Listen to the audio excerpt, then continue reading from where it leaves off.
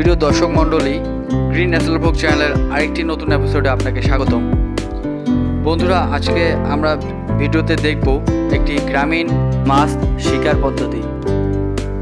যে পদ্ধতিতে অনেক মাছ শিকার করা হয়, বিপুল পরিমাণে মাছ শিকার করা হয়। প্রতি বছরেই আমাদের দেশের যে নদী নালা, খাল বিল রয়েছে, সেখান থেকে প্রতি বছরেই অনেকটা পরিমাণ মাছ শিকার করা হয় এই ট্র্যাডিশনাল পদ্ধতির মাধ্যমে। তো এটা একটি গ্রামীণ পদ্ধতি। আপনারা হয়তো অনেকেই এই পদ্ধতি সম্বন্ধে জানেন। বন্ধুরা, ভিডিওটাতে আপনারা দেখতে পাচ্ছেন যে ঢেউয়ের মুখে একটি মাচা তৈরি করা হয়েছে। এই যে নদীর এ পাশ পর্যন্ত পুরোটাই নদী।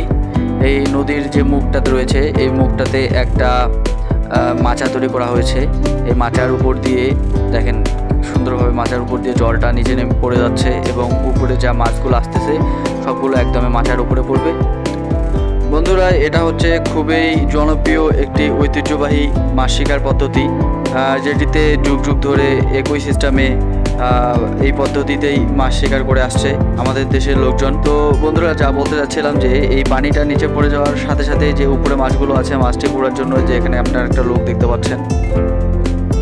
বন্ধুরা, এটা একটা দীর্ঘস্থায়ী মাছ শিকার প্রসেস এখানে একবার এটা করলে পুরো এক বছর পর্যন্ত সুন্দরভাবে অনায়াসে মাছ শিকার করা যায়।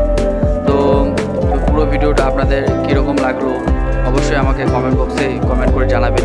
তার সাথে সাথে কেউ যদি এরকম মাছ শিকারের পদ্ধতি সম্বন্ধে জানতে চান, তাহলে অবশ্যই আমাদের সাথে যোগাযোগ করবেন। আমরা আপনাদেরকে সাহায্য করব যে কীভাবে এরকম একটি মাছ ধরার হাত তৈরি করবেন। বন্ধুরা, ভিডিওটি কেমন লেগেছে তা অবশ্যই আমাদেরকে কমেন্ট বক্সে জানাবেন। এবং সেই সাথে আজকে ভিডিও এখানেই শেষ করছি এবং পরবর্তী ভিডিও দেখার আমন্ত্রণ